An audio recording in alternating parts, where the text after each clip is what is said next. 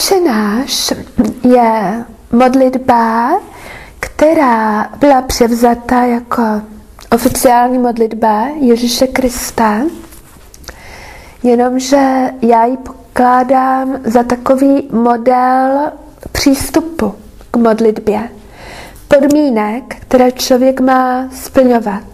Neštěstím, eh, které se stalo, bylo, že tato, modlit, tato modlitba přišla do toho takzvaného modlitebního mlínku, kdy se stala odříkávadlem mm, bez pochopení toho, co Ježíš v ní sděluje. Protože všechno to, co on v té modlitbě říká, je modlitba k Bohu, ale ta modlitba odčenáš by měla být i, když potom máme nějakou krátkou modlitbu, tak ta, ta, uh, ty podmínky uh, v té modlitbě, ta celá modlitba by měla být obsažena v každé modlitbě. I kterou říkáme úplně jinými slovy a s jinými myšlenkami. Protože uh, jestliže Ježíš tím odpověděl na otázku, jak se máme modlit, Otázka nezněla, co se máme modlit. Otázka zněla, jak se máme modlit, co to je modlitba a jak tedy má probíhat. A Ježíš tam dal nám uh, návod. On říká, otče náš. To znamená, on lidem kým říká, on nám kým říká, jestliže prosíš Boha, ty ho prosíš jako otce, který není jenom tvůj otec, ale i těch všech ostatních. A o cokoliv tedy prosíš, musíš prosit s umenšením svého ega, aby to, co, o co ty prosíš, nebylo, se nestalo problémem tím, že ty to dostaneš. Se nestalo problémem, nebo nespůsobilo utrpení nebo újmo tomu druhému. A jestliže říkáš, již to odčenáš, tak potom je těžké prosit jenom za sebe. Jakmile již tam dám to slovo náš. Já jsem tuto, tento návod plně pochopila, abych pravdu řekla také až před několika lety, kdy jsem pochopila, že Bůh dal, náv, Bůh dal skrze Ježíše návod. Uh, Pochopila jsem to, když jsem uh, volala k Bohu a říkala jsem, Bože můj, Bože můj, Bože můj. A vnímala jsem potom Krista. A on mě řekl, Bože náš. A když jsem mu říkala, můj miláčku, tak on mě řekl, miláčku náš.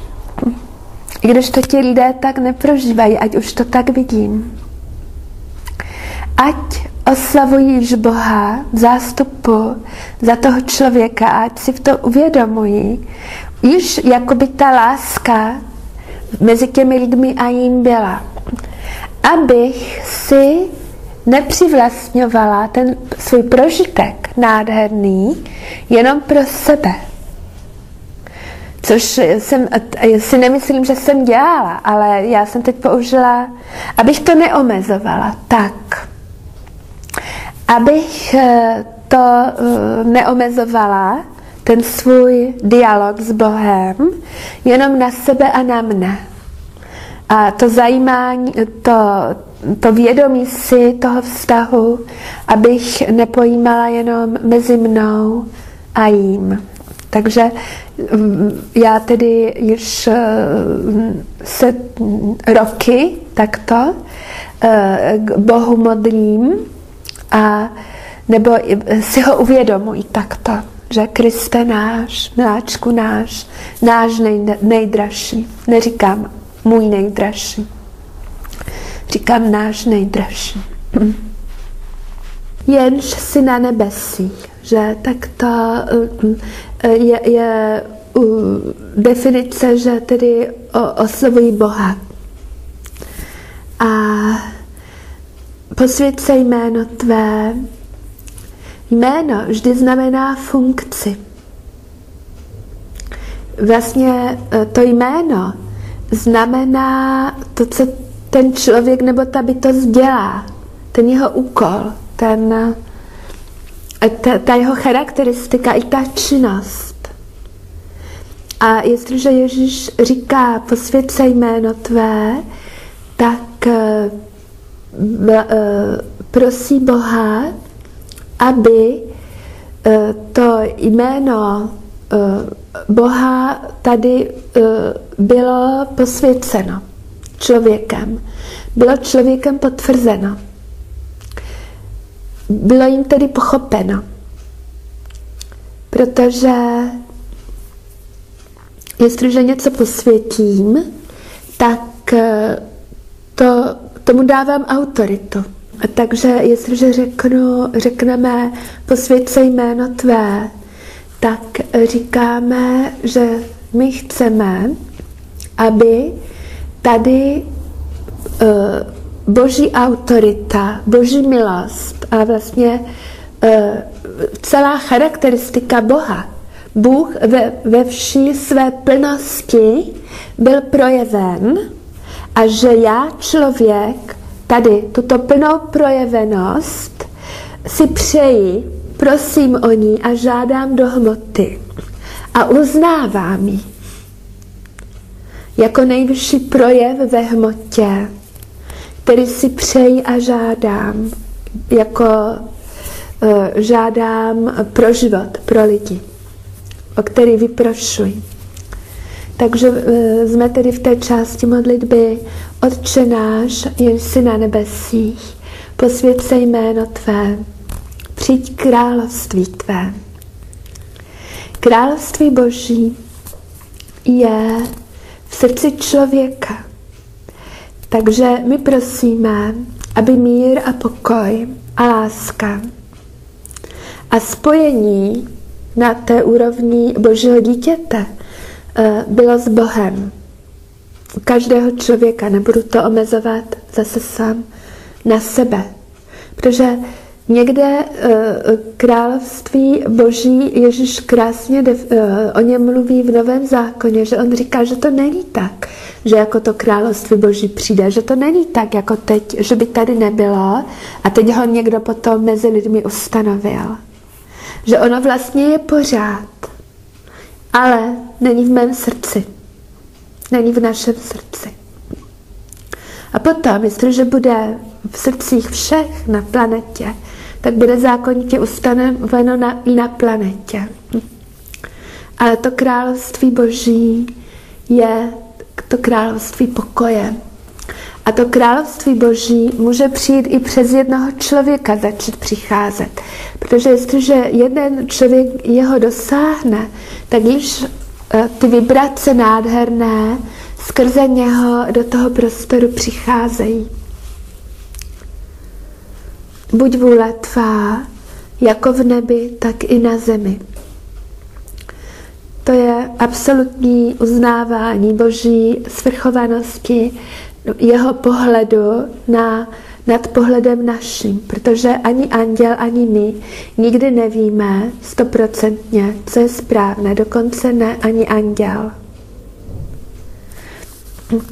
Protože eh, já také z té vlastní zkušenosti již vím, že anděl dává svůj pohled, svůj názor, ale Bůh ho nepřijme. Má na to ještě jiný pohled. Takže i andělé si přejí vůli Boží na zemi. Oni uznávají, že tedy i oni ty své názory a pohledy ještě předkládají Bohu. Tedy ten pohled má nejvyšší absolutní. Takže Otče náš, jsi na nebesích, posvěd se jméno Tvé, přijď království Tvé, buď vůle Tvá, jako v nebi, tak i na zemi. Chléb náš vezdejší dej nám dnes. Tím chlebem je míněn jak chléb duchovní, tak ten chléb, který potřebujeme jako pokrm, samozřejmě. A jeden bez druhého nemohou být. Protože kdybychom měli jenom ten chléb fyzicky, ten, ten jako pokrm, tak nemůžeme duchovně růst a stejně budeme vázáni na ten reinkarnační cyklus a nikdy se nedostaneme do té sféry nesmrtelnosti, když máme nesmrtelné tělo. A ten, ten denní pokrm potřebujeme, protože kdybychom ho neměli, tak odtud odejdeme a vůbec v žádném reinkarnačním cyklu zrovna na té zemi nebudeme, že? Když jsme se s takovým problémem, třeba na té reinkarnace nikdy není jednoduchá, ten problém, ten inkarnační, pos, eh, mm, ta cesta tím tunelem je velice složitá. Často se to vysokým duchům nedaří. Někdy uh, jsou v rodině případy, že jim dvě miminka umřou a ti lidé nevědí hned po narození a ti lidé nevědí, že to je pořád to tež miminko, to, které se potom narodí po třetí. Jenom protože vlastně ta reinkarnace může být takto těžká, takto problémová. Oni někdy také ta miminka, která takto přicházejí a hned odcházejí, tak oni doručí nějaké světlo, nějakou dispozici a tím splní úkol a odejdou. Také.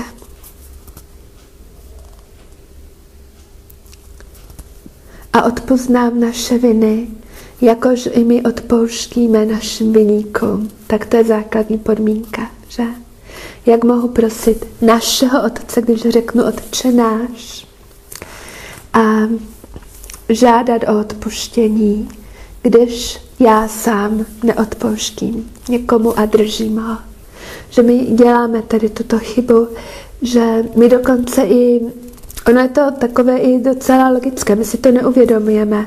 Ten člověk, který třeba se dopustil nějakého provinění před týdnem, on měl dost času na to, aby změnil názor, aby si tu chybu uvědomil, mohl prožít kvůli tomu velké utrpení i pokání. A dnes to už není stejný člověk.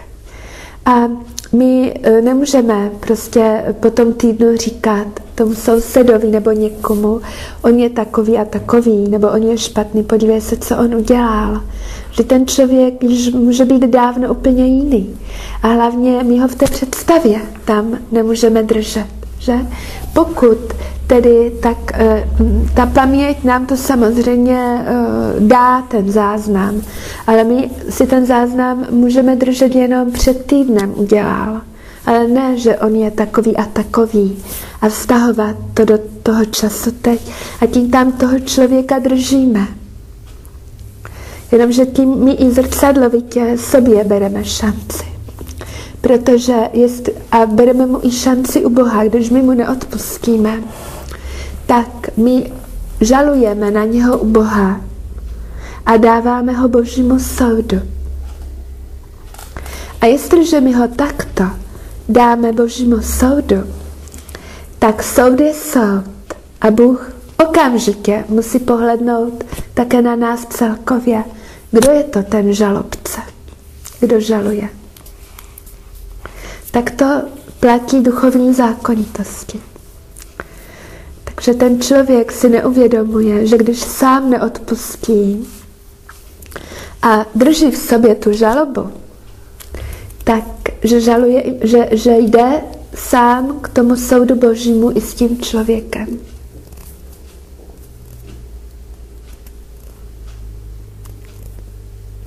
A takto rozebraný odčenáš, jak jsem vám ho rozebrala, je podmínka aby Bůh mohl plně vyslyšet modlitby člověka pro přístup člověka k Bohu a k jiným lidem.